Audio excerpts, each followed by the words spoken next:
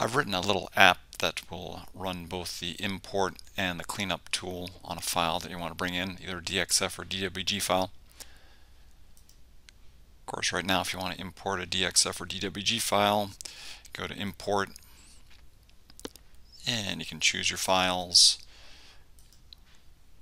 Choose whether you want to insert file name or not. I'm just going to go with no for right now. And put the parts in there so at this point if you didn't run your cleanup tool and you went to your cam tab and we'll just do our quick button here because there are some openings in the uh, geometries we lose our outer geometries here and just end up with something like this so then you would probably go back to your Tools tab and maybe do the Analyze function to see what you've got going on. We've got some openings and such in these parts here. So then you'd probably run your cleanup tool, tolerance, since we've got gaps, I'll start with thousandth of an inch, and control A, hit enter, do the analyze again, control A, hit enter. Now we've got no gaps. Now we can do go ahead and make our parts.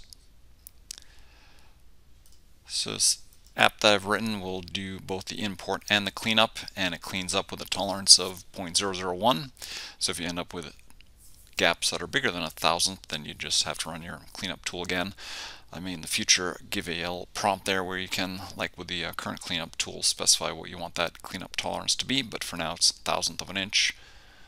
So we can add this little button up here wherever you want it. I've got it on my cam toolbar. So click on this. Again, prompts you whether you want to insert file name or not. This time I'll go ahead and click yes. And we'll click these two files again here. Insertion point, left click where I want to insert the part. And then text insertion point. And then height default is quarter of an inch, or I can left click and left click to indicate the height of the text and then insertion point for my next part, left click again, and again insertion point for text and I'll go there and I'm just going to hit enter for the defaults value of the text height. What it did there was import the parts and then also run the, the uh, cleanup tool. So if I go ahead to my quick button, it can go ahead and create those parts. So if you're interested in testing that new app out, please send me an email and I'll get in contact with you and get it installed on your system. Thanks.